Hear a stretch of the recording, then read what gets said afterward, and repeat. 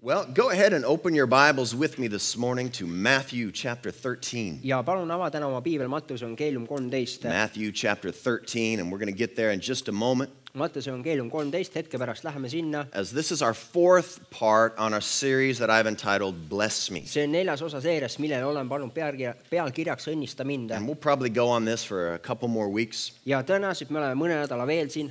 Uh, I, I originally thought that this was just going to be a two week series. algne mõte oli see, et see on kahenädalane seeria, But as we got into this, uh, the Lord just led me to some different directions, and I think this is going to be something that will really help each and every one of us. aga kui me läksime sellesse, siis äh, issand juhatas mind natuke teistmoodi, nii et äh, ma usun, et me saame siit kõik palju enamat, kui siin algselt oli mõte. And so we're talking about bless me. nii et me räägime sellest, õnnista mind, Everybody say bless me. ütle õnnista mind And, yeah. Amen. and, and a lot of times that's, that's, that's what our prayers are to God. ja väga tihti meie palve Jumala poole on selline, You know, God, bless me. Jumal õnnista mind, God, you know, you, you do your part. Jumal, sina tee enda osa And I think that there is something that God has created in each and every one of us that Yeah. wants something better. ja ma usun seda, et Jumal on loonud meid nii, et igaühe meie sees on midagi sellist, mis tahab enamat, For, paremat. for each one of us, we want something more in life. igaüks meist tahab midagi enamat siin elus. And we are created to desire the blessings of God on our life. ja meid on loodud nii, et meie igatseksime Jumala õnnistuse enda elus. How many want your life to get better than what it is today? tahavad, et sinu elu oleks parem, kui see on täna. It's just it's, a, it's how we're et created. see on viis, kuidas meid on loodud. Nobody wakes up and thinks, "I wish my life was worse." mitte keegi meist ei ole nii, et hommikul ärkab üles ja mõtleb, et soovib, et tead, ma soovin, et mu elu oleks hullem. No, we want our life to get better. ei, me tahame seda, et meie elu läheb paremaks And. for us to walk in the blessings of God. ja selleks, et meie saaksime käia Jumala õnnistustes You know, many times I think we, we, we look to others and, and we expect others ma to, arvan, to et bless äh, us. väga tihti meie vaatame teiste inimeste peale ja ootame seda, me tahame seda, et teised õnnistaks And meid if. we're not blessed, we blame other people. ja kui meie ei ole õnnistatud, siis meie süüdistame teisi inimesi. And we look to our government to bless ja us. meie vaatame meie valitsuse peale, et nemad õnnistaks meid. We look to our leaders to bless meie us. vaatame oma juhtide peale, et nemad We õnnistaks look meid to. our parents or Me- our boss, meie vaatame oma siis vanemate peale või ülemuse peale, pastor or friends. pastori peale, sõprade peale And. we, we, we don't want to take the responsibility for our own lives a meie lot of, times. Meie väga tihti ei taha võtta vastutust enda elu eest enda peale. But when reality is this, aga kui reaalsus on see, it is up to you whether you walk in the blessings of God or not. see oleneb sinust, kas sa käid Jumala õnnistustes või mitte. And if we're, you know, as, as we're looking at, at these, these principles and these truths from God's word, kui me vaatame neid printsiipe, tõdesid Jumala sõnast, we're going to see, we're going to find out how blessing can come to pass in our lives. me näeme seda, et kuidas õnnistus saab tulla meie ellu. And we're talking about the principle of honor. me räägime auprintsiibist, Say honor. ütle au. All right? We need to know how to honor one another meie peame teadma, kuidas austada üksteist and how we can adjust ourselves to be more blessed in our life. ja kuidas me saame korrigeerida iseennast, et olla rohkem õnnistatud siin And elus so. that's basically what we're talking about. Ja see on niimoodi üldiselt, millest me räägime And over the next few weeks, we've got some really good things to look into that I, I believe can be life changing. ja järgmise nädala jooksul me vaatame siin päris häid asju, mille kohta ma usun, et need on elu muutvad. But in Matthew chapter 13 ja nüüd äh, kolmteist äh,, and in verse 44, salmist nelikümmend neli. it says, The kingdom of heaven is like treasure hid in a field. Taevariik on põllusse peidetud aarde sarnane. What is Jesus talking about? millest Jeesus räägib siin? He's talking about the kingdom. tema räägib Jumala kuningriigist. He's talking about how things work with God. tema räägib sellest, kuidas asjad toimivad Jumalaga. And he said, The kingdom of heaven is like a treasure hidden in a field. And when a man found it, he hid it again. And then in his joy, he went out and sold all that he had and he bought that field. ta ütleb, taevariik on põllusse peidetud aarde sarnane, mille inimene leidis ja peitis jälle. So the kingdom of heaven works like this. ah, till the end ju. Yeah, yeah. ta läks rõõmuga ja müüs ära kõik, mis tal oli ning ostis selle põllu. So the kingdom of heaven works like this. nii et äh, taeva kuni, taevariik toimib nii. All of us have a treasure, igale, igalühel meist on aare, but all of us have a field. aga igalühel meist on olemas põld. All right?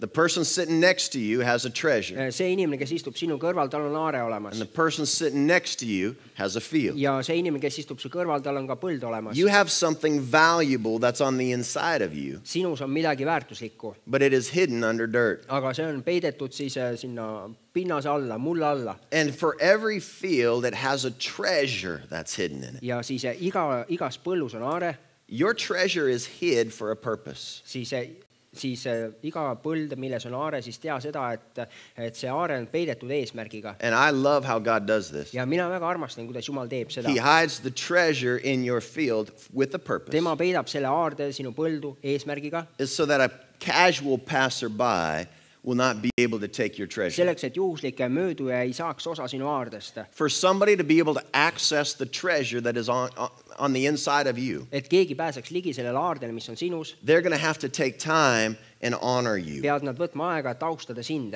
And we need to learn to honor one another ja me peame õppima austama üksteist if we're going to access the treasure that is on the inside of us. kui me ta-, kui meie tahame ligi pääseda selle, sellele aardele, kui nemad tahavad ligi pääseda, If we're going to access the treasure. jah, kui meie tahame siis ligi pääseda aardele, mis on neis. And so I can't take you lightly nii et mina ei saa sind võtta kuidagi lihtsalt n- niisama, and access the treasure that, that's on the inside. of you. lihtsalt suvaliselt kohelda sind ja siis pääseda ligi sellele aardele, mis on sinus I. have to honor you. to mina pean access. austama sind selleks, et ligi pääseda sellele. Now the sad thing is this. ja kurb asi on see, In, a, in many churches, there, there are uh, what we would call uh, dirt hunters. väga paljudes kogudustes on äh, nii, nagu me ütleme siis porijahtijad. You know, where people are looking around thinking, all right, what's wrong in your life? Inimesed vaatavad ringi ja siis mõtlevad, nii, mis on sinu elus viga, You know, where did you go that you shouldn't have gone? kus sina käisid, kus sa ei peaks käima? Ah, I smell something. What did you do last night? aa, ma tunnen mingit lõhna, mis sa eile tegid? You know, uh, where, where have you been? kus sa oled käinud? What did you just say? mida sa just ütlesid? And people are looking for the dirt. They're looking for the bad. ja inimesed otsivad pori, nad otsivad soppa, halba. And they're looking for an opportunity to say, hey, you better act right. Nad otsivad võimalust öelda, sa parem käitu õigesti. I don't want our church to be full of dirt hunters. mina ei taha, et meie kogudus oleks täis porijahtijaid I, want this church to be filled with treasure hunters. vaid mina tahan, et see kogudus oleks täidetud That aardejahtijatega. we look past the dirt and we see the treasure that's on the inside of each and every person that God brings into this place. et meie vaatame mööda sellest porist ja meie näeme seda aaret, mille Jumal on pannud iga inimese sisse. Because Jesus said that is how the kingdom of God works. sellepärast, et Jeesus ütles, et see on viis, kuidas Jumala kuningriik toimib. God puts things on the inside of people that will bless you. Jumal paneb inimestesse asju, mis õnnistavad sind And you need to get that treasure into your life to have the blessing of God on your life. ja sul on vaja saada see aare enda ellu selleks, et saada Jumala õnnistust enda ellu. But to get the treasure, you have to buy the field. aga selleks, et saada see aare, sul on vaja osta see põld. To get the treasure, selleks, et saada aare, you have to buy the field. sina pead ostma selle põllu. And so you need to dig through some dirt then. nii et äh, siis sa pead äh, sealt kaevama läbi selle pinnase You need to dig down and, and, and, get to the part of each and every person that is valuable in the kingdom of sa God. pead kaevama ja jõudma siis inimese juures selle väärtuslikuni, mis on siis väärtuslik Jumala kuningriigis. Because this principle stands is that everything God will give to you, He's going to give you through somebody else. seepärast, et see printsiip püsib, et mida iganes Jumal sulle annab, seda ta annab ke läbi kellegi. Every blessing that we receive in life comes through somebody. iga õnnistus, mille meie siin elus vastu võtame, see tuleb läbi kellegi. And that is why people have gifts and talents and abilities that are given by God sellepärast inimestel on anded, talendid, võimed, mis Jumal on neile andnud, so that they could use those things for the kingdom. selleks, et nad saaks kasutada neid Jumala kuningriigi jaoks. And so the person next to you, you need to know they have a treasure. ja sa pead teadma seda, et see inimene, kes istub sinu kõrval, tal on aare. But you also need to know that they have a field. aga sa pead ka teadma seda, et tal on äh, põld. Nobody is perfect. mitte keegi ei ole täiuslik. This church does not have one perfect person in it. et äh, siin koguduses ei ole mitte ühtegi täiuslikku inimest. so don't think you have to be perfect to serve God. nii et ära mõtle seda, et sina pead olema täiuslik selleks, et teenida Jumalat. And when it comes to other people, don't don't have expectations of perfection. ja mis puutub teistesse inimestesse, siis ärgu olgu sul oot-, täiuslikkus ootus nende suhtes. Because when we have an expectation of perfection in other people, we are going to be disappointed every time. sellepärast, kui meil on täiuslikkuse ootus teiste inimeste suhtes, siis me iga kord saame pettuma. on nii? Have you ever met somebody that never disappointed you? kas sa oled kunagi kohanud kedagi, kes mitte kunagi pole sulle pettumust Listen, it's valmistanud? not going to happen. et mit-, sellist asja ei saa juhtuma. It's not to happen. ei ole sellist And inimest the. more we know people, mida enam meie tunneme inimesi, the more we know about people, seda rohkem me tunneme inimestest, right? teame And, nende and you kohta. might think, oh, well, they just come to church every week and they're so smiley and so wonderful. They're just beautiful people. sa võid mõelda seda, et oo, et nad käivad igal pühapäeval koguduses, nad on nii kenad, neil on nii ilus naeratus, nad on lihtsalt nii ilusad inimesed. But you don't know them Monday morning. aga sina ei tunne neid esmaspäeva hommikul, You don't know them Tuesday night. sina ei tea, millised nad on teisipäeva õhtul You. know, anybody could show up for two hours and look nice. igaüks võib ilmuda kohale kaheks tunniks ja näha välja väga kena, But, but you know, what is their life really like? aga milline on tegelikult nende elu? Go spend some time with them and you will see, yes, they have a treasure, Mine- but they also have a field. mine veeda aega nendega ja sa näed seda, jah, neil on aare, aga seal on olemas ka põlde And the treasure in them is for blessing others. ja see aare neis on selleks, et õnnistada teisi. But the field is something that they have to deal with. aga põld on midagi sellist, millega nemad peavad tegelema. But for us to access the treasure, we need to honor them even though they have a field. selleks, et me pääseks ligi sellele aardele, me ikkagi peame siis äh, nemad, neid austama, kuigi neil on põld. Mhm.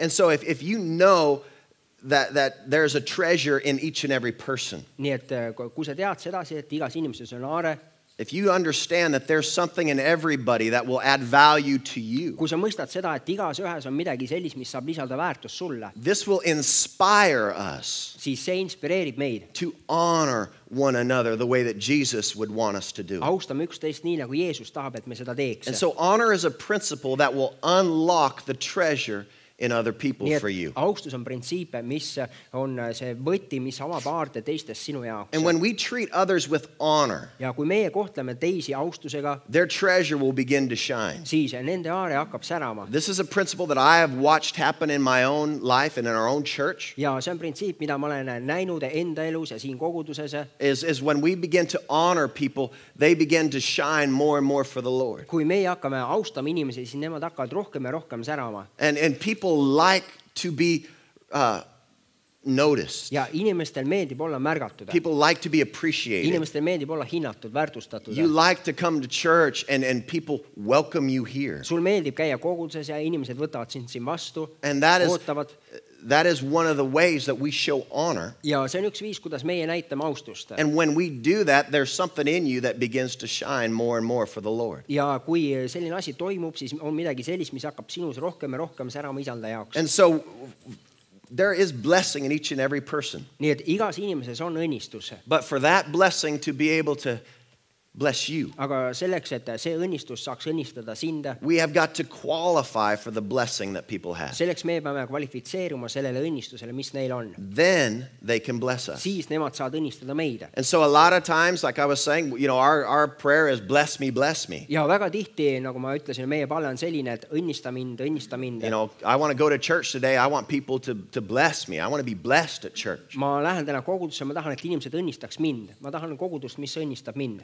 And, and, and that's great and that's fine. ja see on väga hea, But what are you doing to be able to access treasure? aga mida sina teed selleks, et äh, sa pääseksid ligi aardele? Are you living in a way that will allow God to use others to be a blessing to you? kas sina elad viisil, mis äh, laseb Jumalal kasutada teisi sinu õnnistamiseks Because? we have got to learn to tap into the gift on the inside of other people for God to be able to bless us. sellepärast me peame õppima äh, siis äh, ühenduma selle anniga, aardega, mis on teistes inimestes, nii et Jumal saaks meid õnnistada. And honor is something that has to be given. ja austus on midagi sellist, mis tuleb anda And honor is something that needs to be recognized. ja austus on mingi selline asi, mis tuleb ära tunda. If you don't recognize uh, somebody of value, you will not honor them. kui sina ei tunne ära kellegi väärtust, siis sina ka ei austa neid And. so, what we have got to do is we've got to begin to look at people and realize they have value and show honor to everyone. mida meie peame hakkama tegema, on see, et me peame hakkama vaatama inimeste peale ja mõistma seda, et neil on väärtus ja me peame hakkama austama igat ühte. And so, we're looking at how we can do that as a, as a church. nii et me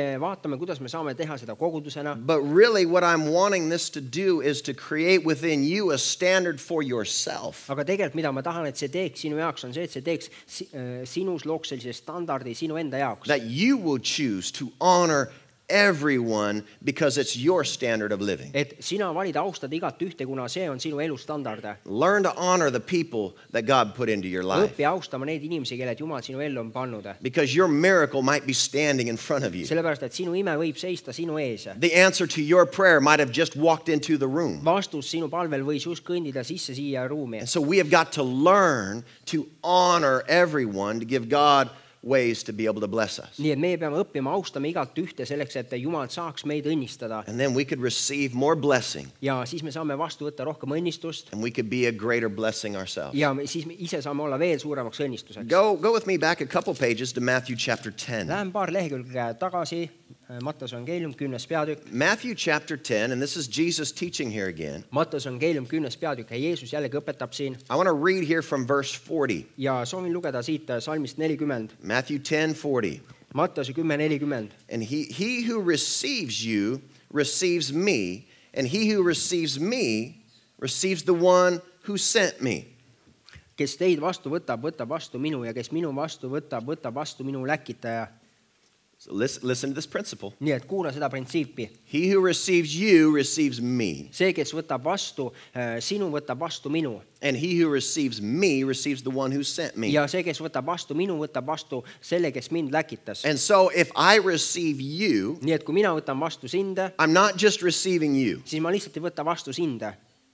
If I'm receiving you, I'm receiving God. kui mina võtan vastu sinu, siis ma võtan vastu Jumala. Because if I'm receiving you, I receive Jesus. seepärast, kui ma võtan vastu sinu, ma võtan vastu Jeesuse And if I receive Jesus, I receive the one who sent Jesus. ja kui ma võtan vastu Jeesuse, ma võtan vastu selle, kes saatis Jeesuse. You see how this works? kas näed, kuidas see toimib? For us to be able to access God, selleks, et meie äh, saaksime ühenduse Jumalaga, we pääseda tal have ligi, got to show honor to one another. meie peame austama üksteist. And then in verse 41, it says this ja salmis nelikümmend üks ütleb seda, Anyone who receives a prophet because he is a prophet will receive a prophet's reward. And anyone who receives a righteous man because he is righteous will receive a righteous man's reward.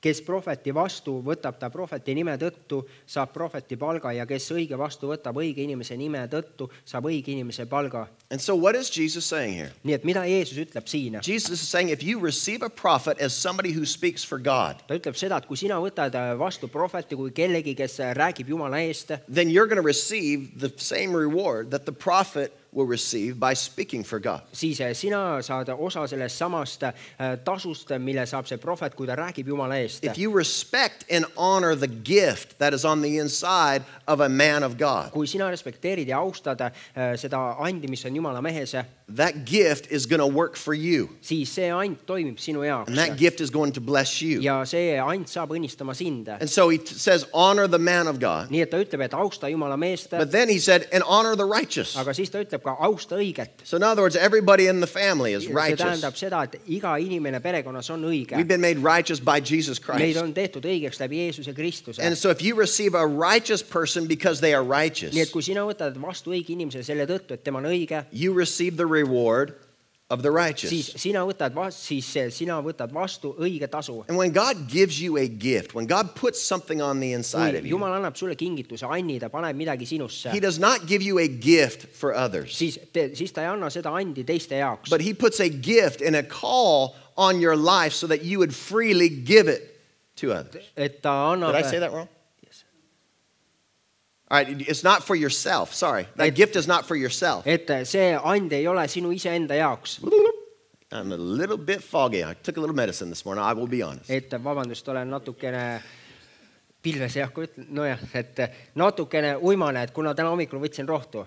But anyway, the gift that God gives you, nii et see and, mille Jumal sulle annab, it is not for yourself. see ei ole sinu iseenda The jaoks, gift that God gives you is for others. vaid see and, mille Jumal sulle annab, see on teiste jaoks. And so God will put a gift and a call on you nii et Jumal paneb anni ja kutse sinusse, for you to freely give it away to those that you come in contact with every eh, day. sina vabalt tasuta annaksid seda ära teistele inimestele, nendega, kellega sa igapäevaselt puutud kokku. And I have to receive you to get what is in you. ja mina pean vastu võtma sinu selleks, et saada seda, mis on sinus. And if I will do that, I will receive a blessing from God. ja kui ma teen seda, siis ma võtan vastu õnnistuse Jumalalt, Not just from you, mitte lihtsalt sinult, But if I receive you, I receive Jesus, I receive Jesus, I receive God. vaid kui ma võtan vastu sinu, võtan ma vastu Jeesuse ja kui ma võtan vastu Jeesuse, võtan ma vastu Jumalalt. And so if I receive you, nii et kui mina võtan vastu sinu if, I'll honor you, kui ma austan sind, God is able to use you to get a blessing into my siis life. Jumal on võimeline kasutama sind selle jaoks, et tuua õnnistust minu ellu. And this is how the kingdom of God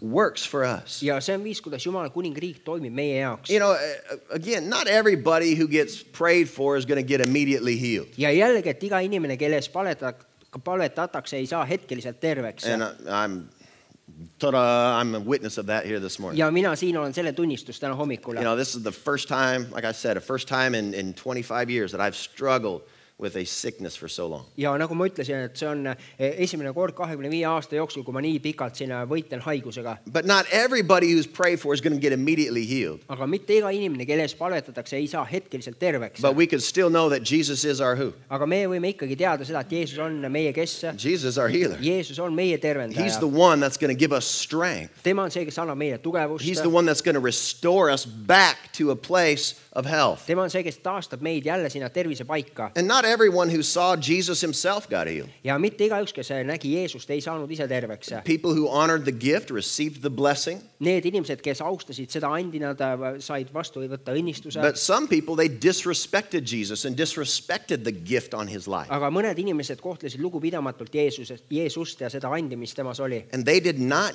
get their blessing from ja him. nemad ei saanud oma õnnistust temalt. And God was not able to bless them. ja Jumal ei olnud võimeline õnnistama neid. Why? miks? Because they did not receive him. kuna nemad ei võtnud vastu teda. They were asking God for blessing, but they didn't receive Jesus. Nad palusid äh, Jumalalt õnnistust, aga nad ei võtnud vastu Jeesust. And so uh, there, there, I want to look at a, a few, few examples here. ja tahan vaadata mõnda näidet siin. Um, Jesus was in his hometown. Jeesus oli oma kodulinnas And when he went into his hometown, the people there did not see him as somebody who could speak into their life. ja kui Jeesus oli oma kodulinnas, siis inimesed ei vaadanud tema peale kui kellegi peale, kes äh, siis võib rääkida Jumala poolt The. Bible says his own people did not receive him. see piibel ütleb, et tema oma rahvas ei võtnud teda vastu, And so they did not receive from his gift nii et nad ei võtnud vastu tema annist, because they disrespected Jesus. kuna nad äh, kohtlesid lugupidamatult Jeesust So. that's one level. nii et äh, see on üks tase. But now, uh, another time we see Jesus, he, he was traveling and he stopped by a well, teinekord me näeme seda, kus Jeesus ta reisis, ta peatus kaevu ääres, and his disciples went into town to get some food. ta jüngrid läksid linna, et toitu tuua. Jesus was tired, it was hot, Jeesus oli väsinud, oli palav. and so he was sitting by the well, and a, a woman came up to the well. Jeesus istus seal kaevu ääres, sinna tuli üks naine And we've talked about this woman before. ja me oleme varem rääkinud sellest naisest. But Jesus, he had to work on her a little bit before he could be able to bless her. aga Jeesus pidi natukene tema kallal ennem tegema tööd, enne kui ta sai teda õnnistada. Jesus wanted to reach out to her, he wanted to help her, Jeesus tahtis välja sirutuda temani, ta tahtis teda aidata, but he needed to do some work aga first. tal oli vaja kõigepealt esmalt teha tööd. And so when she walked up and, and she got her water, nii et äh, kui ta läks juurde, ta sai siis oma vee, Jesus said, Hey, uh, could you get me some water too? I'm, I'm thirsty. siis ta, ta ütles naisele, et kuule naine, et anna mulle ka vett, mul on joogijänu. And this woman, she was kind of a cool chick. Ja see naine oli selline lahe tibi And, and she was kind of smart aleck a little bit, ja ta oli had a natuke, mouth on her. ja ta oli natukene selline jutukas and she said, Well, you know, you don't even have a bucket. Siis ta ütles, et tead, sul isegi ei ole ämbrit. And Jesus said, Well, if you really knew who was asking you for water, you'd probably ask, you should probably ask me for some water. Jeesus ütles, et tead, tõenäoliselt äh, kui sa teaksid, kes ma olen, siis sa küsiksid minu käest vett. And I would give you water you would never thirst again. mina annaks sulle äh, vett ja sa enam kunagi ei januneks. She was like, Okay, smart guy, go ahead and give me some of that water. I don't have to come back here ja anymore. siis ta ütles, ja, jah, sa oled tark anna mulle seda vett, siis ma enam ei pea tulema siia tagasi. And so Jesus was trying to reach her, but, but she was, she just, she had comebacks for everything. et Jeesus proovis jõuda temani, aga sellel naisel olid iga asja suhtes äh, oma vastused. And so then Jesus switched his approach. nii et Jeesus siis muutis oma lähenemisviisi, And he said, All right, well, could you just go get your husband then? I want to talk to you both. siis ta ütles, et tead, mine too oma mees parem siia, ma räägin teie mõlemaga. And the woman said, "Pfft, I don't have a husband. ja see naine ütles, et ah, mul ei ole meest. And this is when Jesus was able to reach her. ja siis Jeesus oli võimeline jõudma temani. Because then Jesus said, Well, that, yeah, that's right. kuna siis Jeesus, Jeesus ütles jah, täpselt Now, nii. Jesus wanted to help this lady, Jeesus tahtis aidata seda naist, but she had absolutely no honor for him. aga tal ei olnud mitte mingisugust austust äh, She, tema suhtes, she sellel was naisel. not going to receive anything from a Jew. et see naine ei olnud vastu võtma midagi juudilt.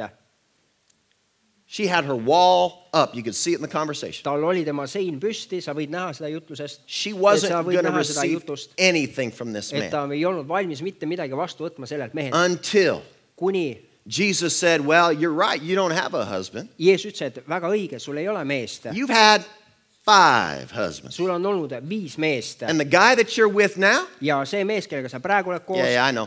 ja ma tean, He's just a friend. ta on lihtsalt sõber. You met those people that, et they kas sa oled näinud selliseid inimesi? yeah, they stay over sometimes, but they're, they're, they're just a friend. ja, ja nad jäävad mõnikord äh, minu juurde, aga nad on lihtsalt sõbrad. And so, so the, the, the friend nii et see sõber is who Jesus was talking about. on see, kellest Jeesus rääkis. And he was wanting both of them to come back so that he could speak into their lives. ta tahtis seda, et mõlemad tuleksid tagasi, nii et ta saaks rääkida nende ellu. And when Jesus spoke this, she stepped back. She said, Oh, ja kui Jeesus rääkis seda, siis naine astus äh, tagasi niimoodi I can kind of sense that maybe you're a prophet or something. ja siis, et tead, kuule, ma võin tunda, et sa oled prohvet või midagi sellist. And that, that point, she changed the way that she saw Jesus. ja sellel hetkel ta muutis selle viisi, kuidas ta nägi Jeesust. Now she's open to hear from Jesus. nüüd ta on avatud, et äh, kuulda Jeesuselt. Now she will receive him for who he really is. et nüüd ta võtab vastu tema sellisena, kes ta tegelikult on. And Jesus was the Son of God from the very beginning. ja Jeesus oli Jumala, Jumala poeg päris algusest. When he was sitting there under the tree, hot and tired, he was the Son of God. kui ta istus seal puu all, tal oli palav, ta oli väsinud, siis ta oli Jumala poeg. But he was unable to do anything for this lady aga ta ei olnud võimeline mitte midagi tegema selle naise jaoks, until she saw him that, that's somebody that God could use. kuni hetkeni, kuni see naine nägi teda, et ta on keegi, keda Jumal saab kasutada. Do you see that? kas sa näed seda? He tried, he had to work with her. ta proovis, ta pidi tegema tööd tema He kallal. had this conversation to get her to a place where she began to honor the gift on the inside of him. Neil pidi olema see vestlus, kus kohas see naine siis, et ta jõuaks sinna paika, kus ta austab teda selleks, et ta jõuaks Annini. And once she changed the way that she saw him, ja kui ta muutis viisi, kuidas ta nägi teda, then Jesus was able to speak into her life. siis Jeesus oli võimeline rääkima tema ellu. We don't know what all he said to her at that point, ja me ei tea, mida ta kõike ütles temale sellest hetkest edasi, but we know at that point she was open to hear from God. aga me teame seda, et sellel hetkel eh, see naine oli avatud, et kuulda Jeesuselt And then she became one of the first preachers of Jesus ja siis tema sai üks esimesi eh, jutlustajaid, kes eh, käis ja kuulutas Jeesust. because she ran back into her little village and she said, I want everybody to come with me. Come with me. You've got to hear this man who told me everything about my whole life. kuna tema siis, ta, ta läks ja jooksis oma väiksesse külasse, kus ta hakkas rääkima, tulge, ma räägin teile sellest mehest, kes ütles mulle kõike minu kohta. And so that, at that point, then Jesus was able to minister to the whole town. ja siis eh, Jeesus oli võimeline teenima kogu linna. And so you have in, people in Jesus' own town, they didn't receive him, they didn't respect anything to do with him. nii et oma linnas inimesed ei võtnud vastu Jeesust, nad ei tahtnud temaga pistmist teha, They didn't receive anything from nad God. ei võtnud vastu mitte kui midagi Jumalalt. And then you have this, uh, this woman that Jesus had to work with for a while to get her to a place where she could receive. aga siis seal on see naine, kellega Jeesusel oli vaja teha tööd, et naine jõuaks paika, kus ta on valmis vastu võtma. And then a third example would be like the example of the centurion. ja kolmas nai-, kolmas näide oleks siis äh, sellest äh, The Roman väepealikust, Roman soldier. Rooma väepealikust, And, and, sõdurist. and uh, he asked Jesus if he would uh, heal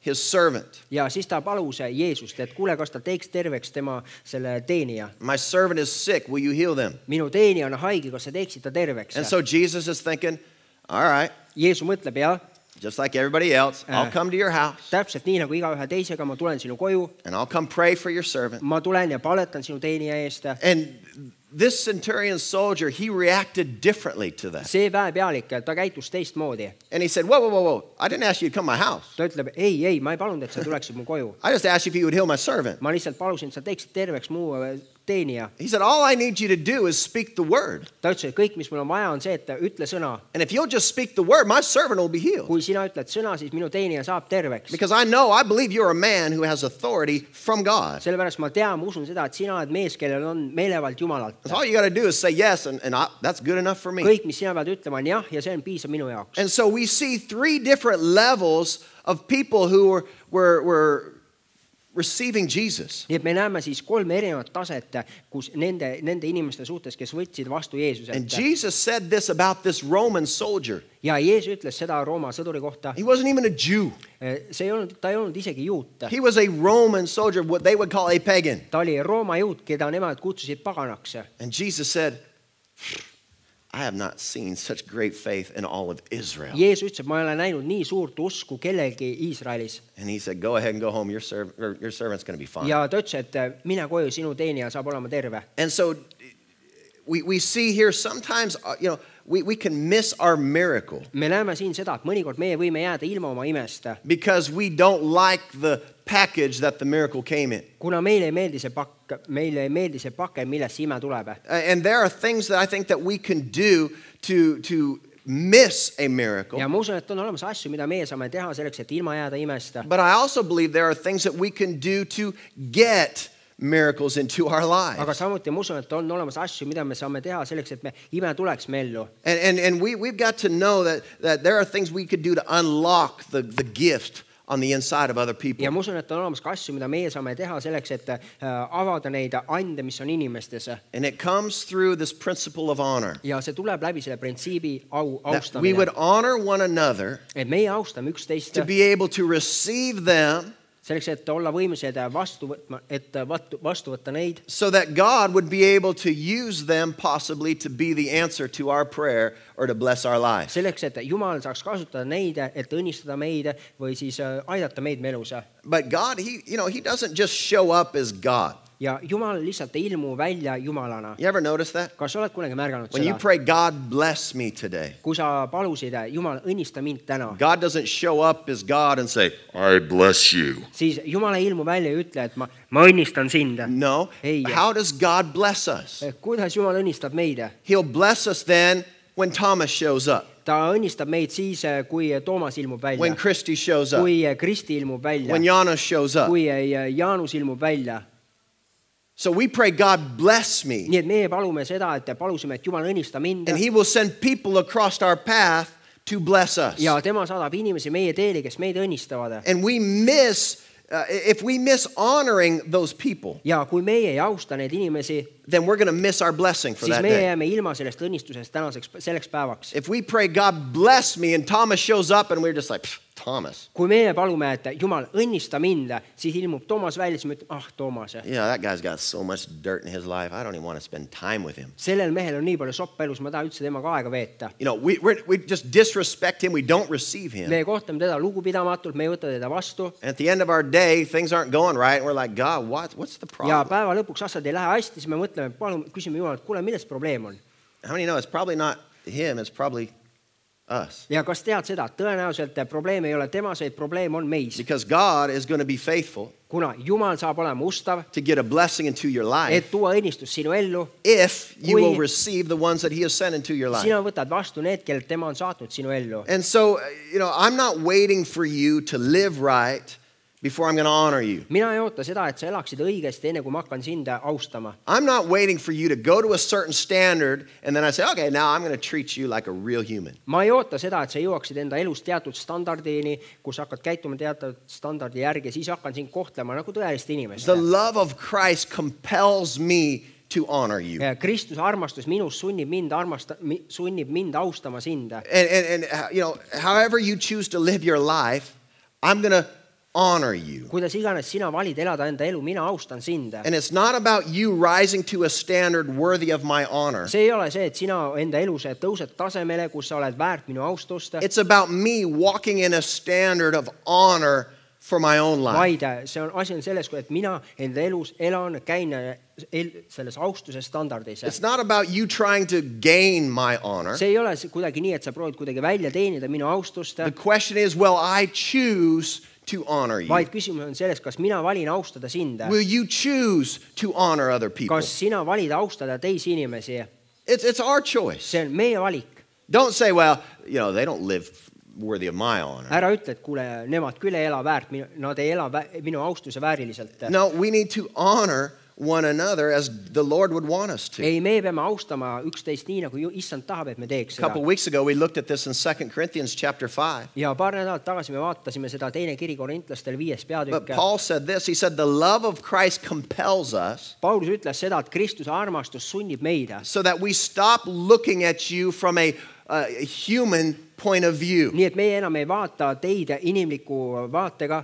I'm not just looking at you as, as a man or a woman, mina ei vaata sinu peale lihtsalt kui mehe või naise peale, but I'm looking at you as a gift of God. vaid mina vaatan sinu peale kui Jumala kingituse. And that's why I, I, I can treat everybody with kindness Ja and, and sellepärast ma saan- respect. sellepärast ma saan kohelda iga, igat ühte sind lahkelt, austusega, respektiga, Because I choose to look past maybe some dirt kuna siis äh, ma olen otsustanud mööda vaadata because I realize that I know that God has put a treasure on the inside of Kuna- each and every one of you. kuna ma mõistan seda, et Jumal on pannud aarde igasse ühesse teist. And so we are not to be, be a judge of anyone's field. nii et me ei peaks olema mitte kellegi põllu hindajad. You know, God did not call us to be the judge, He's the judge. Jumal ei kohtunud, ei kutsunud meid kohtumõistjaks, tema on kohtumõistja The, you know, and, and the part of somebody that doesn't act right, ja see osa kellestki, mis ei käitu õigesti, the part of somebody that's just, you know, flesh, the Bible calls see it. osa kellestki, mis on lihtsalt, see on liha, piibel nimetab seda lihaks The part of somebody's life that is full of problems and, and, and, you know, it's not really matching what it should be. osa kellegi elust, mis on lihtsalt väga problemaatiline, mis ei lähe kokku sellega, nagu ta peaks olema. If I choose to honor you, kui mina otsustan austada sind, I'm going to have to get past that dirt siis mina pean saama mööda sellest porist sopast and get to that valuable treasure that's on the ja inside. jõudma selle väärtusliku aardeni, mis on sees, sinu And sees. this is one thing that I've noticed.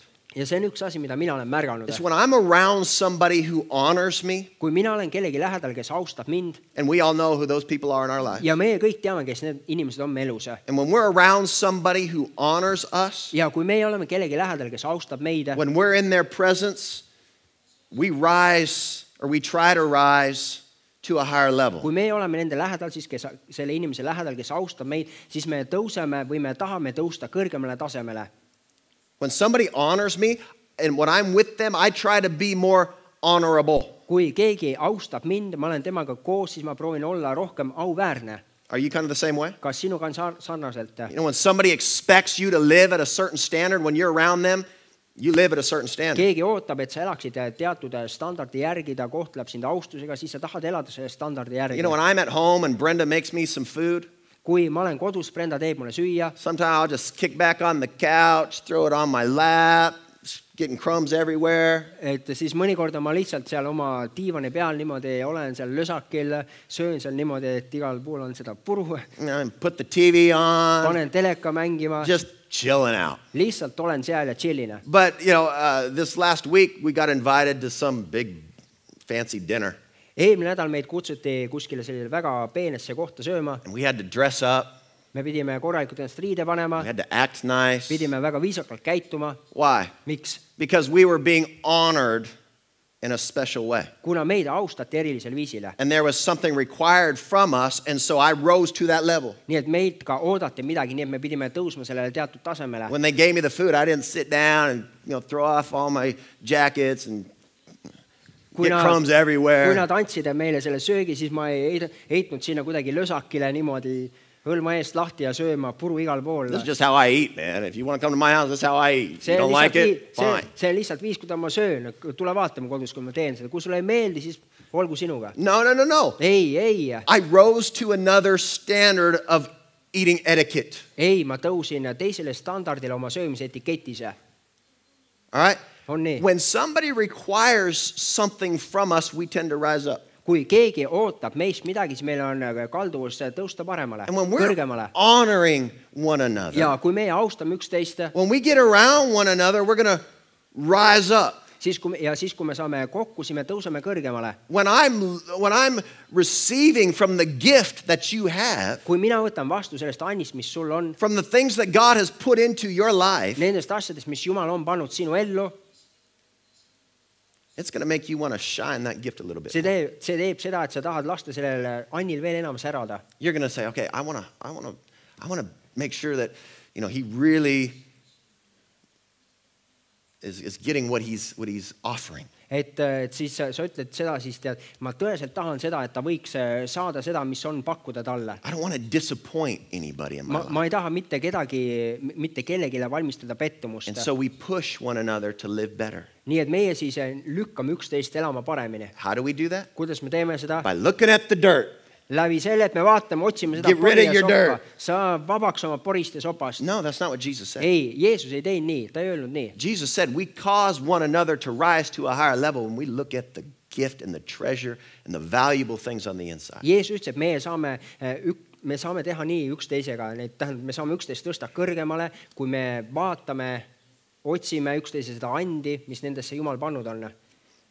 Are you getting something out of this? You're really quiet today. et olete täna kuidagi väga vait-, But vaiksel I hope you're getting this. ja loodetavasti ma loodan, et sina Because saad this. is a standard of how we are to treat one another in the kingdom. nii et see on standard, kuidas meie peaksime kohtlema üksteist Jumala kuningriigis And it's important for us to receive each other to be able to receive our reward. ja meie jaoks on väga oluline, et me kohtleksime üksteist õigesti, nii et me saaksime vastu võtta sellest annist, mis on igas ühes. And not just, you know, honoring the, the, the big important people, ja nii, et me ei austa lihtsalt neid äh, suuri tähtsaid inimesi, but we would honor all who are, are called by the name of God. vaid meie austame igat ühte, keda kutsutakse Jumala nimega. You know, and, and again, when we pray and ask God for help, Kui me Thomas is probably going to show up. kui me palvetame, palume abi Jumalalt, siis tõenäoliselt Toomas ilmub välja. And so God is, is going to show up in Thomas, but I need to recognize that. nii et Jumal siis ilmub välja Toomases ja meie peame selle ära tundma. And if I don't recognize that, I'm not going to get what it is that God wants to give to me. kui mina ei tunne seda ära, siis ma ei saa vastu võtta seda, mida Jumal mulle tahab anda. I could miss the answer to my prayer. mina võin ilma jääda sellest vastusest minu palvele. And, and you know, even though Thomas may not live as a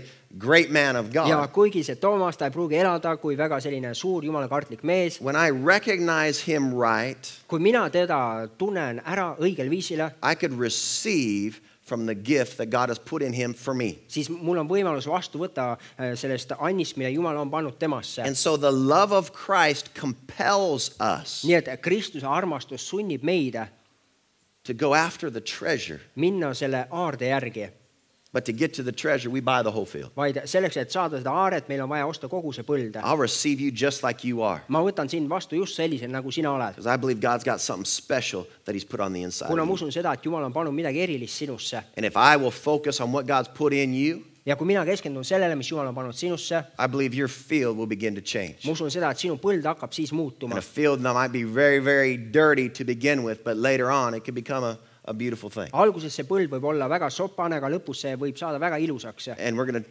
discuss that here as we go forward in the weeks to come. ja sellest me räägime, kui me läheme siin veel mõned nädalad edasi. But God takes great things aga Jumal võtab vägevad asjad and He puts them in common things. ja paneb need tavalistesse asjadesse.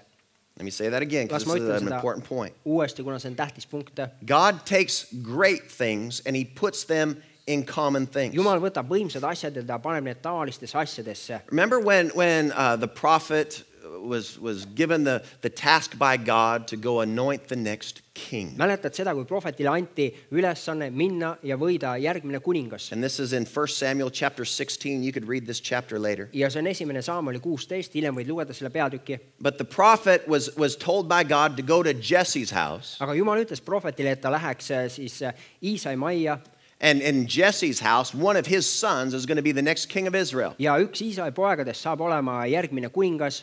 And so, so Samuel, you go there and you anoint him. nii et Samuel, sina mine sinna ja võia teda. And so, uh, you know, he shows up at Jesse's house and he says, Hey, Jesse, God told me one of your boys is going to be king. ta läheb sinna Iisai majja ja siis ütleb, tead, Jumal ütles mulle seda, et üks sinu poegadest saab olema kuningas. So call all your boys in and we're going to see which one, God's going to show me which one it's going to be. nii et kutsu oma poisid siia, Jumal näitab mulle, milline neist saab olema kuningas. He calls seven sons into the room siis ta kutsub seitse poega sinna tuppa, the big, tall, handsome ones, suured, ilusad, the strong ones, tugevad, the smart ones. targad. He went through all seven sons and he says, Jesse, God doesn't say any of these is one of your none of them are going to be king. Sorry. ja siis ta vaatab kõigi nende seitsme peale ja ütleb Iisraelile, kuule, ükski neist ei ole kuningas, jumal ei ole valinud neid, Are kahju you, are you sure you don't have any other sons? kas sa oled kindel, et sul rohkem ei ole poegi? And he said, Well, I've got one more, but he's, you know, he's out taking care of the sheep. ta ütleb, mul üks veel on, aga ta on seal lambaid hoidmas. You know, David wasn't even invited to the king party. Taavetit isegi ei kutsutud kuninga peole. He wasn't even, he, they didn't even think to ask him. Nad isegi ei arvanud kutsuda teda sinna. Why? miks? Because his brothers were like, they look like kings. kuna tema vennad paistsid välja nagu kuningad. They walked in a room and everybody's like, ooh, Nad nice looking astusid guy. sinna tuppa sisse, siis vau, väga kena noor mees. David was out shoveling sheep poop. Taavet oli seal lavi taga, viskas äh, lambasõnnikute. That was his job. see oli tema töö. And Jesse thought, well, I don't want to bring him in here. He stinks. Iisa mõtles, ma ei taha tuua teda siia, ta haiseb. And so he said, all right, we'll bring in David, I guess. I don't know. no hea küll, ma toon siis Taaveti siia, ma ei tea ka. And when David walked in, ja kui Taavet astus sisse, God said, the rest of these boys look like kings, siis Jumal ütles, et need teised poisid paistavad kuninga moodi välja. but they've got nothing on the inside of aga them. neis ei ole mitte midagi nende sees. This little boy might not look like a king, see po-, see poiss ei pruugi välja paista kui kuningas, but there's a king on the inside aga of him. tema, tema sees on kuningas. There's a gift on the inside of him. tema sees on ande. He's the one, anoint David. tema on see, võia tema kuningaks. God took valuable, precious thing jumal võttis ka väärtusliku kalli asja and he put it in somebody who looked very common. ja ta pani selle kellessegi, kes paistis välja väga tavaline. David is still known today as the greatest king Israel has ever had. Taavet on täni tuntud kui kõige võimsam, kõige parem kuningas, kes Iisraelil kunagi olnud on. Not because he was a king on the outside, because he was a king on the inside. mitte sellepärast, et ta oli kuningas väliselt, vaid kuna tema oli kuningas seespidiselt. And they had to get past his dirt to access his treasure. ja nad pidid saama mööda tema porist, et jõuda tema aardeni. They had to get past what it looked like and what he acted like to see that there's something special in this man. Nad pidid saama mööda sellest, kuidas ta välja nägi, kuidas ta käitus, selleks, et jõuda temani, selle väga eriliseni, kes ta oli. And so God takes something great and he puts it in something common. nii et Jumal võtab midagi väga võimast ja ta paneb selle, selle millegisse tavalisse. Jesus said the kingdom of heaven is like a, a treasure that was hidden in a field. Jeesus ütles seda, et äh, ku- Jumala kuningriik on justkui aare, mis pandi põll, põllusse. And this is how it is with you, and this is how it is with every person that you will ever meet in your life. ja nii on sinuga ja iga inimesega, kellega sa kunagi saad enda elus kohtuma. And so we've got to know how it is that God operates. nii et meie peame teadma, kuidas Jumal toimib. And if we can get past the field, ja kui meie saame mööda sellest põllust, we can be able to access the treasure in people's lives. siis me saame olla võimelised pääsema selle aardeni inimeste elus. And how we treat one another is so important to God. ja see viis, kuidas me kohtleme üksteist, on nii tähtis Jumala jaoks. Go back with me to Numbers chapter 6. ja palun läheme tagasi nüüd neli Moosese raamat, neljas Moosese raamat, kuues peatükk. Numbers chapter 6. neljas Moosese raamat ja kuues peatükk. I want you to see this here. God wanted to put a blessing on his people. ja ma tahan, et me vaatame siin midagi, et Jumal tahtis panna õnnistust oma rahva And üle. I want you to see how the blessing of God got to the people. ja ma tahan, et sa näeksid seda, et kuidas see Jumala õnnistus sai siis tema rahva peale. So, Numbers chapter 6, and I want to start reading here with verse 22. nii et neljas Moosese raamat, kuues peatükk ja soovin alustada salmist kakskümmend kaks. The Lord said to Moses, ja issand rääkis Moosesega, Who was speaking? et kes siin rääkis?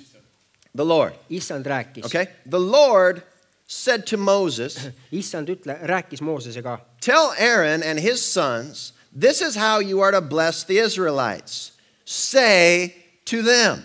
öeldes, räägi Aaroni ja ta poegadega ning ütle õnnistades, jah, räägi Aaroni ja ta poegadega ning ütle, And then in verse 24, õnnistades Iisraeli lapsi, öelge neile nõnda ja salmis kakskümmend neli. says, and, and the Lord will bless you and keep you. May the Lord make his face shine upon you and be gracious to you. And the Lord turn his face towards you and give you peace. issand õnnistagu sind ja hoidku sind, issand lasku oma pale paista sinu peale ja olgu sulle armuline.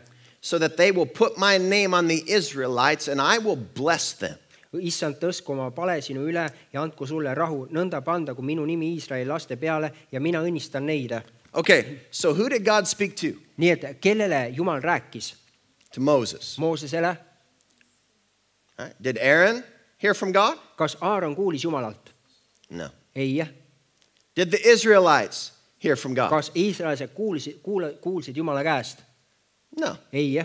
Did God speak to the Israelites? kas Jumal rääkis iisraellastele? He didn't do that. ta ei teinud seda. Were the Israelites blessed? kas iisraelised said õnnistatud? Yes. jaa. All right, how did this work? et kuidas see toimib? God spoke to Moses. Moses spoke to Aaron. Aaron spoke to the people. God blessed the people. Jumal rääkis Moosesele, Mooses rääkis Aaronile, Aaron rääkis inimestele ja Jumal õnnistas rahvast. And we think, why didn't God just come down and bless the people? ja meie mõtleb, mille pärast lihtsalt Jumal ei tulnud sinna alla ja ei õnnistanud inimesi It. would have been a whole lot more easy. see oleks olnud ju palju kergem, If God just showed up and blessed people. Kui And that's, Jumal- that's, God bless me. kui Jumal oleks lihtsalt äh, ilmunud sinna kohale, Jumal, õnnista mind. Wouldn't that just be a whole lot easier? kas see poleks olnud lihtsalt palju lihtsam? Why do you have to use somebody else? God, just you bless me. Jumal, miks sa pead kasutama kedagi teist, lihtsalt sina õnnista mind If. God is going to do anything in your life, He's going to use other people to do it. kui Jumal saab tegema midagi sinu elus, siis ta saab kasutama selleks kedagi teist And God wanted to bless Israel. sinu õnnistamiseks ja Jumal tahtis õnnistada Iisraeli And so God told Moses how to get the blessing to the people. nii et Jumal ütles Moosesele, kuidas äh, saada see õnnistus rahvani And, and the priests were the ones who were going to bless the people. ja preestrid olid need, kes pidid siis õnnistama rahvast. And so Aaron is the one who's going to be saying the blessing nii et Aaron siis äh, oli see siis, kes ütles seda õnnistust, because Moses told him what to say. kuna Mooses ütles talle, mida öelda, But the people had to receive it from Aaron, aga rahvas pidi selle vastu võtma Aaronilt, not God, mitte Jumalalt, not their great leader Moses. mitte nende, nende suurelt juhilt Mooseselt. They had to receive it from Aaron. Nad pidid selle vastu võtma Aaronilt. But if they received what it was that Aaron was saying, God Himself was going to put His name on each and every one of them. aga kui nad võtsid vastu selle, mis Aaron neile andis, siis nad võtsid vastu Jumalalt selle nime, mille Jumal selle õnnistu, God, God would bless them and put His name on each one of siis them. Jumal õnnistas nende igat ühte ja pani oma nime nende igaühe üle. And so they had to receive Aaron first. nii et nad pidid esmalt vastu võtma Aaroni. But let's kind of get real in this story. aga võtame nüüd, muutume tõeliseks siin loos. Because sometimes I think we read the Bible and think that they were just all kind of real spiritual robots. ma arvan seda, et mõnikord me loeme piiblit ja mõtleme seda, et nad kõik olid lihtsalt sellised väga vaimulikud robotid. When, when Moses went to Aaron kui Mooses läks Aaroni and juurde, says, Listen, this is what God says. et kuula, see on see, mida Jumal ütles. God says that, that you are to go and you're going to go speak to the people, and this is what you're going to tell them. Jumal ütles, et tead, sa lähed ja räägid rahvale ja see on see, mida sina neile ütled. And, and, and the Lord told me that if you will do that, ja issand ütles, et tead, kui sina teed seda, then God will use what you say and He will put His name on each and every one of them, siis issand võtab selle, mida sa ütlesid ja paneb oma nime igaühe üle and He will bless the people. ja tema õnnistab rahvast. You know what Aaron's first thought probably was? ja kas tead, mis see tõenäoliselt Aaroni esimene mõte oli? God didn't tell me that. et Jumal mulle ei öelnud seda. Huh? Have you ever talked to somebody kas sa oled kunagi rääkinud kellegagi, said, you know, I really believe that the Lord is leading me to say that, that you know, what about this in your life? tead, et issand on, ma tõeliselt tunnen seda, et issand on juhtinud mind, et tulla sinu juurde ja küsida sinu käest, et kuule, et kuidas sul on selle asjaga su elus. And their answer is, well, God didn't tell me that. Nende vastus on see, Jumal mulle ei ole öelnud midagi selle kohta. That's fine if God told you, but He didn't tell me. see on väga hea, kui Jumal ütles sulle, aga mulle ta ei ole midagi öelnud. What are they doing? et mis nad teevad? They're blocking what God wants to do in their life. Nad blokivad ära selle, mida Jumal tahaks teha nende elus. Oh, it's fine if you believe that, et äh, väga hea, kui sina usud seda, but I don't believe that. aga mina ei usu seda. Well, It's, it's, you know, you believe in that prosperity stuff, yeah, sure. et sina jah, loomulikult usud seda jõukuse värki, Yeah, but, but you know, not me. mina mitte. You believe in all that healing stuff, that's fine, but, but not me. sina usud kogu seda tervenemise värki, aga mina mitte. Listen, that's, if you don't believe it, don't worry about it. You're never to have to deal with it. et äh, tead, kui sina ei usu seda, siis ära muretse, sa mitte kunagi ei pea sellega tegelema. You're not going to have to deal with that prosperity stuff. You're not going to have to deal with that healing stuff. Don't worry about it. sa ei kunagi ei pea tegelema selle jõukuse asjaga ega selle tervemise asjaga, ära muretse üldse. But if you will believe it, aga kui sina usud seda, those things can be reality for you. siis need asjad võivad olla reaalsuseks sinu jaoks Hallelujah. I'm, Hallelujah. I'm an example of that. ja mina olen selle näide. God has blessed me. God has supernaturally helped me through my life. jumal on mind õnnistanud, ta on üleloomulikult aidanud mind mu elus It's because I look to Him for that. kuna mina vaatasin tema poole And I look how He could act, how He could bless me in my life. ja siis on näha, kuidas ta saab mind õnnistada mu elus. And so, again, we- we pray to God for help. nii et jällegi me palume Jumalalt abi And God is going to use some very common things to help us. ja Jumal kasutab väga tavalisi asju selleks, et meid aidata. And, and they had to,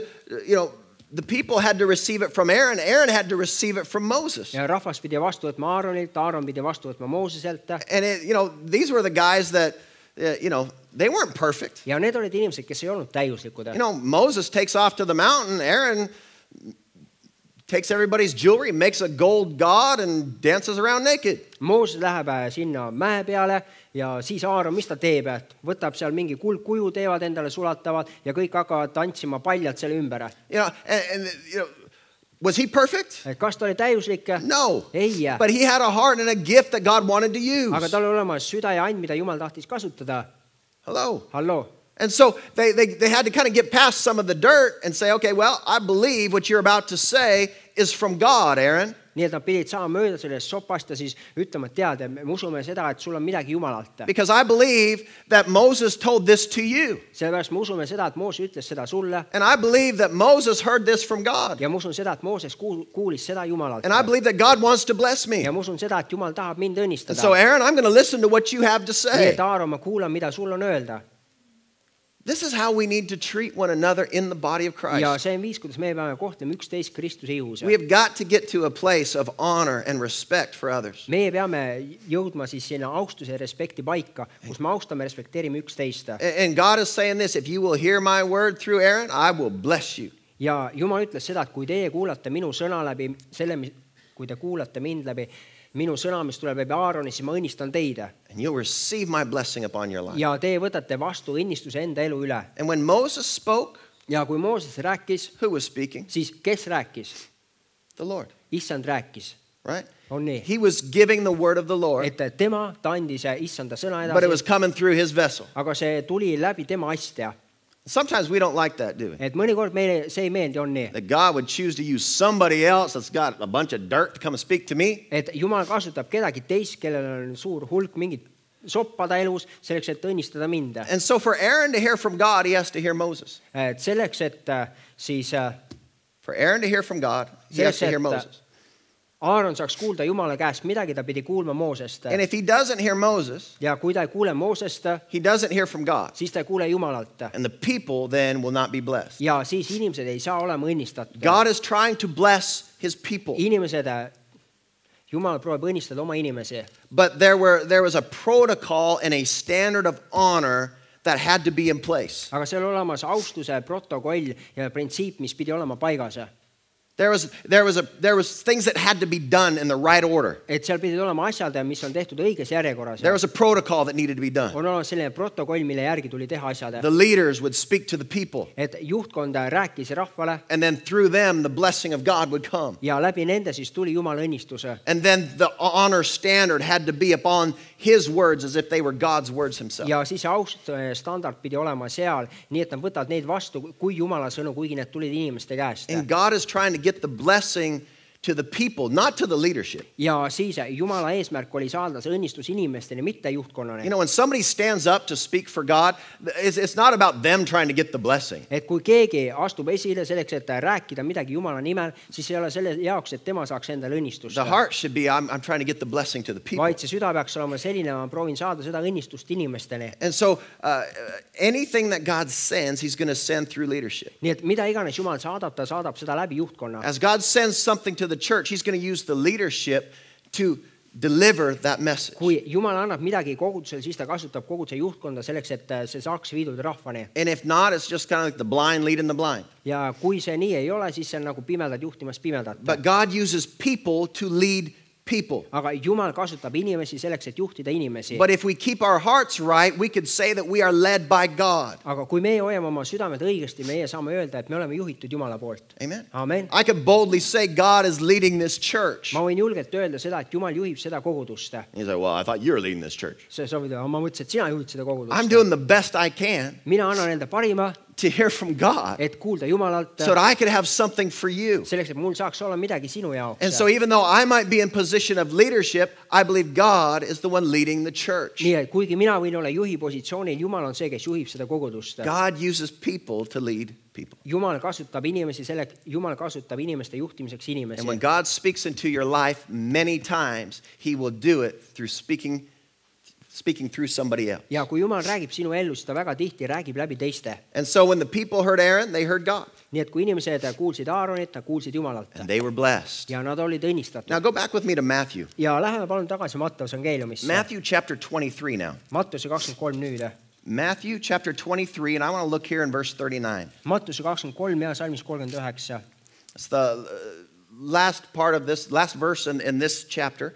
Jesus is getting a point across. ja siin viimases osas selles salmis äh, Jeesus proovib siin teatud asja inimesteni tuua Matthew 23, 39, he says, For I tell you that you will not see me again until you say, Blessed is the one who comes in the name of the Lord. Mattuse kakskümmend kolm, kolmkümmend üheksa, sest ma ütlen teile, et teie ei näe mind nüüdsest enam, kuni te ütlete, õnnistatud olgu, kes tuleb issanda nimel.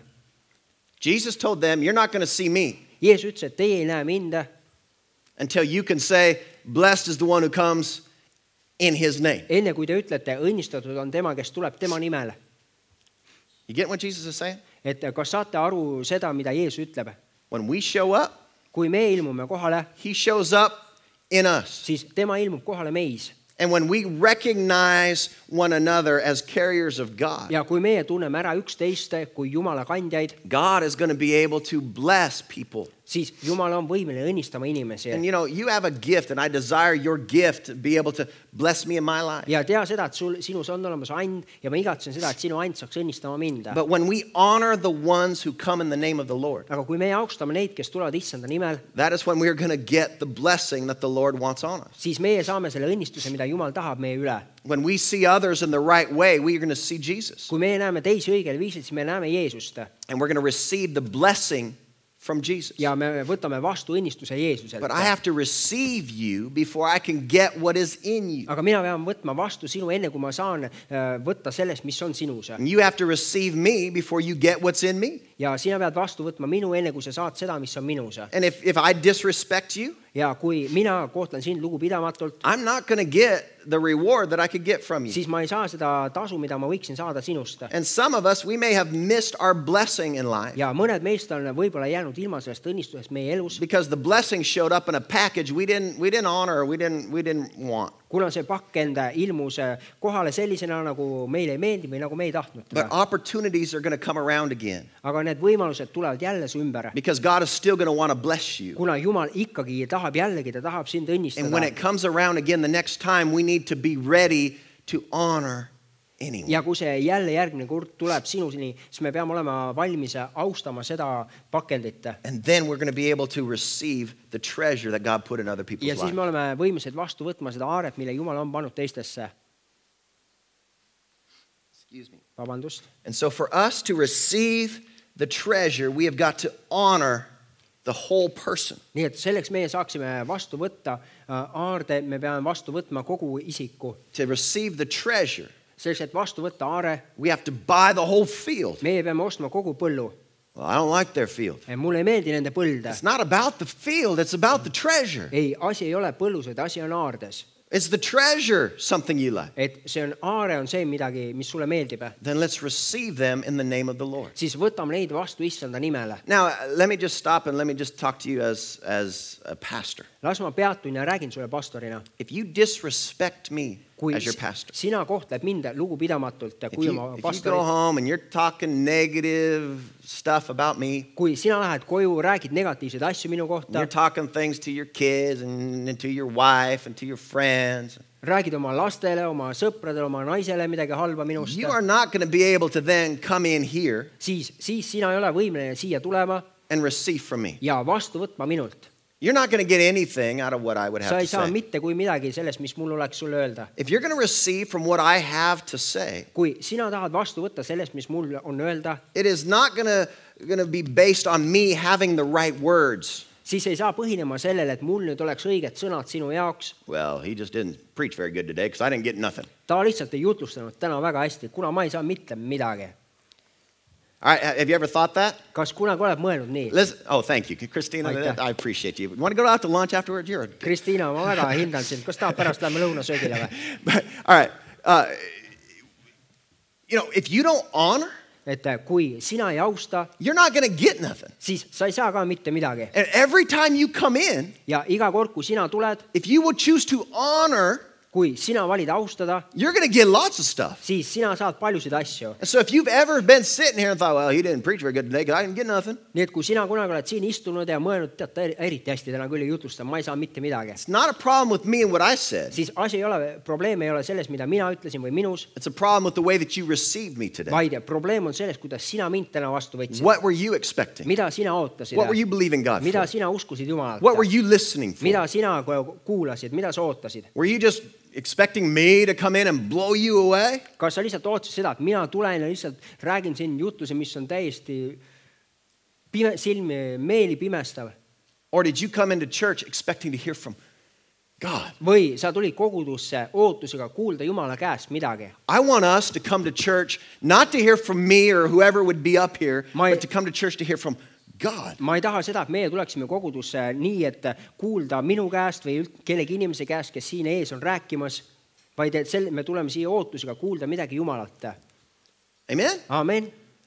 Now, who's he going to use? nii et keda ta kasutab selleks? I come to church hear from God, but God didn't show up. ma tulen kogudusse, et kuulda Jumala käest, aga Jumala, Jumal ei tulnud kohale. No, but he could show up in me. jah, aga ta või, ta võib ilmuda siia minu, minu näole And if you receive me in the name of the Lord, he will get a blessing to you. ja kui sina võtad vastu minu issanda nimel, siis tema saab kasutada mind sinu If õnnistamiseks you. believe I have a word from God today, it will bless you. kui sa usud seda, et mul on täna sõna Jumalalt sinu jaoks, siis see saab sind If you õnnistada. believe that I'm a fake and you know anything I have to say doesn't matter, kui sa arvad seda, et ma olen võlts ja kõik, mis mul öelda on, üldse ei oma mingit tähtsust, I have no ability at all to bless you. siis mul ei ole üldse mitte mingit võimekust sind õnnistada I. can't do it. ma ei saa teha seda. I could be the best, most anointed preacher on the planet. ma võin olla kõige parem, kõige võitud õpetaja kogu siin planeedil, But if you don't believe that I have a word from God, it's not going to bless you at all. aga kui sina ei usu, et mul on sõna isandalt, siis see ei õnnista sind üldse. The power is in your hands to get blessed. It's not in me. See vägi saada õnnistatud on sinu kätes, see, see ei ole minus. My and now listen to this. This, Ja, this might, seda. might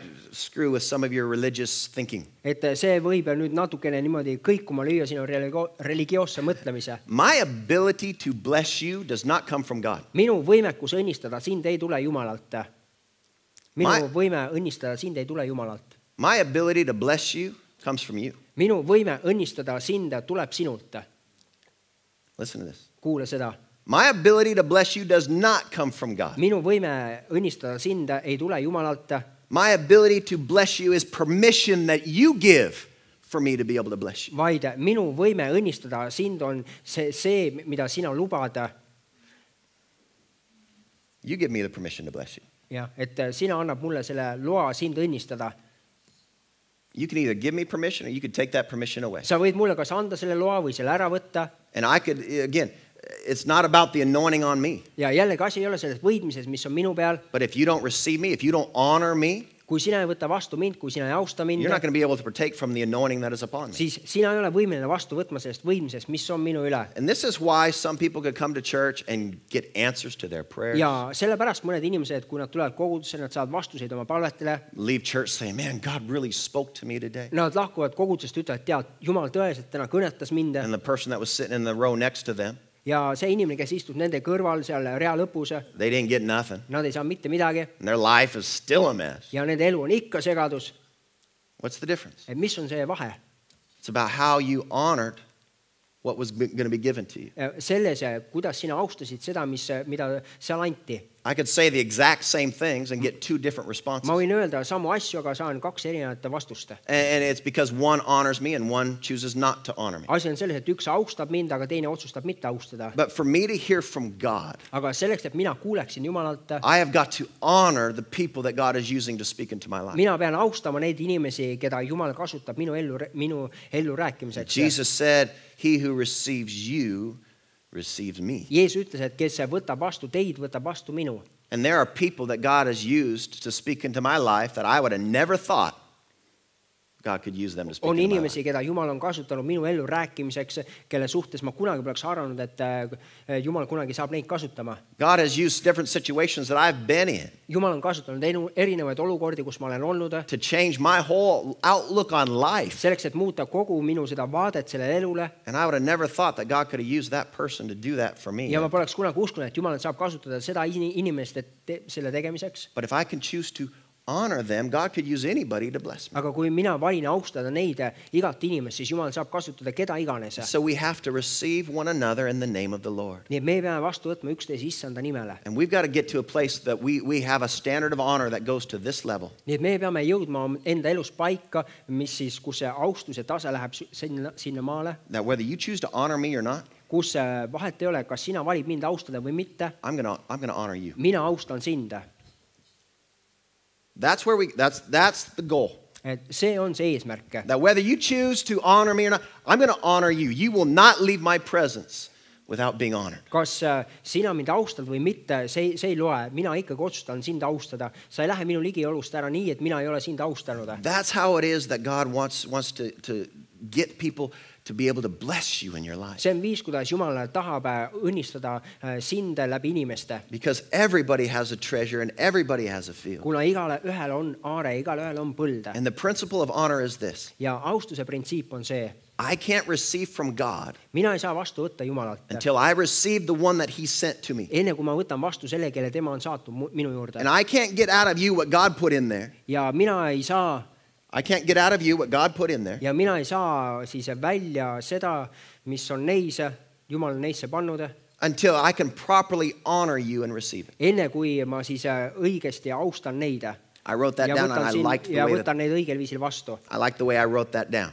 ja mulle väga meeldib, kuidas ma selle kirjutasin üles. So let me just read it to you again nii et las because we ma have loen sulle uuesti.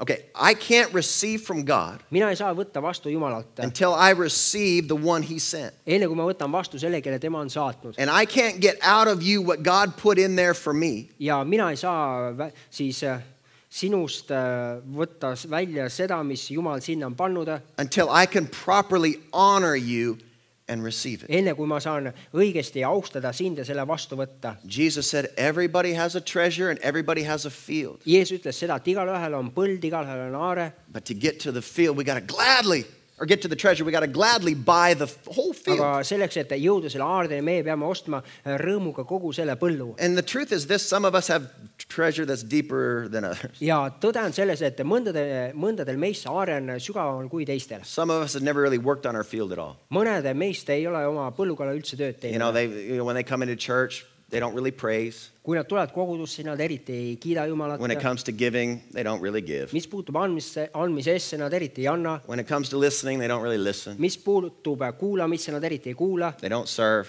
Nad ei teeni, They don't apply what it, what it is that they hear. nad ei rakenda seda, mida nad kuulevad. And so, again, they might be here, jällegi, nad võivad siin kohal olla, but they're not really working on their field. aga nad tegelikult ei tee, ei tee tööd oma põllu kallale But. then there's some people that have been working on their field for years. aga siis on mõned inimesed, kes on teinud tööd oma põllu kallal juba And the aastaid treasure is closer to the surface. ja see aare on tõusnud pinnale lähemale. They've already removed some of the dirt. They've already already made the field a beautiful place. Nad on juba osa sellest eh, sopast ja pinnasest ära koristanud sealt ja niimoodi, et see eh, põld on muutunud juba ilusaks paigaks. Again, I'm, I'm, this is the point I'm trying to make. It's up to us how much blessing we're going to be able to receive. ja jällegi see punkt, mida ma tahan teieni tuua, on see, et meist oleneb, kui palju see aare meie elus välja paistab. It's up to us how much blessing we receive. see oleneb meist, kui palju aaret, kui palju õnnistust meie vastu võtame. And it's up to us how much we're going to be able to bless others. ja see oleneb meist, kui palju me oleme võimelised õnnistama teisi.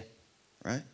It's how we treat others. see viis, kuidas meie kohtleme teisi, It's how we're going to be blessed. on see, see viis, kuidas me saame õnnistatud But we're going to talk about this in the weeks to come now. ja tulevastel nädalatel me räägime sellest. It's up to us to be a blessing to others. see oleneb meist, et me saaksime olla õnnistuseks teistele. We need to be doing what we can do to let our gift bless other people. meie peame tegema seda, mis me saame teha, et meie and saaks õnnistada teisi And it comes by honoring others and honoring ourselves. ja see tuleb selle juurde, et meie austame teisi. And so we all have a part to play in the kingdom of nii God. et igalühel meist on osa kuninga, Jumala kuningriigis. Anything that you do in Jesus' name is going to be rewarded in your iga life. asi, mida sina teed Jeesuse nimel, see saab tasutud maa, siin elus. You know, and, and, and again, when it comes to the body of Christ, don't think that you always have to have me pray for you. ja jällegi, mis puutub Kristuse ihusse, siis ära mõtle seda, et mina pean alati olema see, kes paletab sinu Because on a eest. Sunday morning, I, I don't have time to pray for everybody who comes. sellepärast, et pühapäeva hommikul mul alati ei ole võimalust paletada iga inimese eest, kes But I on do siin. believe this. I believe somebody in here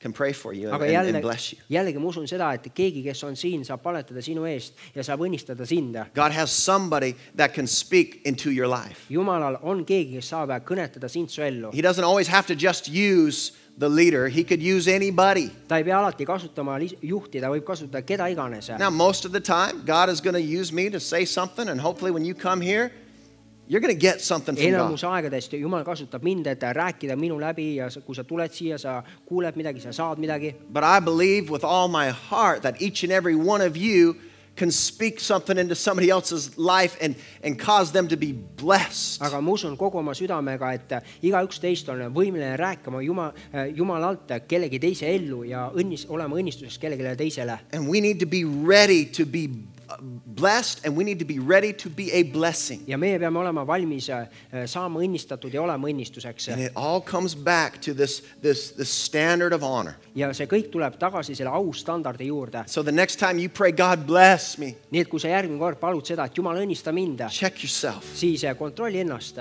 Check how you treat other people around you. et vaata üle, kuidas sina neid inimesi, kes on sinu ümber. Check to see if you are honoring the ones that He has put into your life. vaata, kas sina austad neid inimesi, kelle tema on pannud su ellu. And I believe this I believe that God is going to use you to bless other people. ma usun seda, et Jumal saab kasutama sind selleks, et õnnistada teisi inimesi. God arranges things so that what He's put in you is going to be seen by somebody else. jumal korraldab asju nii, et need asjad, mis ta on pannud sinusse, need saaksid nähtavaks teiste jaoks. By the ones that He sent to help.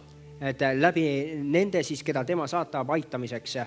God is going to send you to help somebody, jumal saadab sind, et aidata kedagi and they're going to be able to see the gift in you. ja nemad saavad olema nägema seda andi sinus. I believe this. I believe God has sent you to this church, ja ma usun seda, et Jumal on saatnud sind siia kogudusse and you are here to help. ja sina oled siin aitamiseks. You are here to be blessed, but you are here to also be a blessing. sa oled siin selleks, et saada õnnistatud, aga ka selleks, et olla õnnistuseks. And so, what is in you, nii et äh, mis on sinus, the gift and the treasure that God has put there that maybe nobody has uncovered yet, see and, see aare, mis on sinus, mille Jumal on pannud, aga mida võib-olla mitte keegi veel ei ole avastanud. you need to know that that gift is going to be the thing that's pushing you towards your sa destiny. pead teadma seda, et see and on see, mis tõukab sind sinu saatusesse. It's the thing that's going to get you to the place that God can use you for His glory. see on see, mis viib sind sinna paika, kus Jumal saab kasutada sind tema auks So, we've got to start to uncover a little bit. Aga meie peame siis hakkama natuke ära võtma seda katet sealt pealt. means we're going to have to get rid of some of the dirt ourselves. see tähendab, et meie peame ise saama lahti mõnest,